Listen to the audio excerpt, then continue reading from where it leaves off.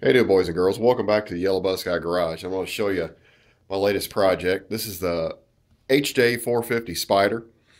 And the flight system I have on this is uh, what you would order if you were to build the uh, Flite Test uh, Electrohub. And through Ready to Fly Quads, they have um, an electronic system that you can purchase. And it's the, the Flip 1.5 the motors. These are 2012 970 kV, I believe, 970, 940, something like that. And uh, flies, a buddy mine has Electrohub, and it flew that really well. And uh, I got this frame and installed the system on this frame, and it is a blast. It's a whole lot of fun to fly.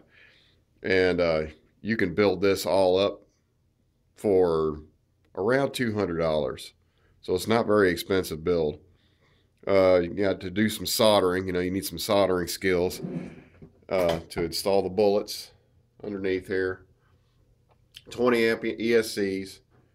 It's the uh, all. And these are from uh, Ready to Fly branded ESCs, and they're they got Simon K software flashed on them. And just last night, I installed this ridiculously bright headlight, and it's a 12 Cree style LEDs and I got tail lights on it. I also have a, a voltage monitor that uh, beeps at you when it get down to uh, 3.7 on any cell. It'll start chirping and let you know. Uh, the back tail lights I'm running off this small pack here and the uh, the headlights wired into the uh, the uh, power distribution board. But man, look how bright that is. That's just ridiculous. It seems it's so bright, it's hard to look at. I haven't flown it at night yet. I'm really, I'm going to try and get to that this weekend. But anyway, I can say this, uh, with the stock PIDs, this thing flies beautifully. And uh, it's flashed with uh, Ready to Fly's X-Copter uh, firmware.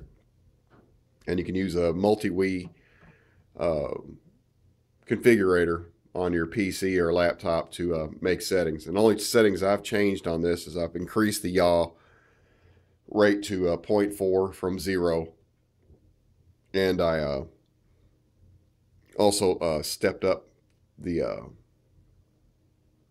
expo. Yeah, that's one of the word I'm searching for here. It's kind of early in the morning. I uh, increased the expo to 75%, uh, which smooth things out. But this is a really nice flyer. And in this particular configuration, I get between eight and eight and a half minutes on a three cell 2200 battery. Flies beautifully. Really, it's a lot of fun to fly. And uh, I started out with a Flip 32 Plus and had issues with two of those boards with the uh, accelerometers, either the accelerometers or the gyros failing, and the copter be fine, and then it would would get real wobbly and just do an uncommanded flip. And I with I had two of those boards, and both of them exhibited that. So far, the Flip 1.5 has been flawless. I should have, unless you're gonna, you want the magnet, the compass and the barometer. If you just want a sport copter and you're not, you know, wanting to build a, a uh, GPS ship or a camera ship, this is the way to go. And it just it just works. It really works well. And uh, I'm really pleased with that headlight. I think it's bright. And I can I can mount a Mobius here or here.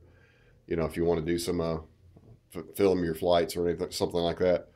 Anyway, thought you guys might be interested to see this, and it's been a blast to fly. I'm flying it with the DX6. Also fly my Blade QX with the DX6. Makes this a, a lot of fun because you can use uh, Expo and things like that, and, and uh, makes that a lot of fun to fly also. But anyway, thanks. Uh, send me a question, comment, like, subscribe, and happy flying. Catch you guys later.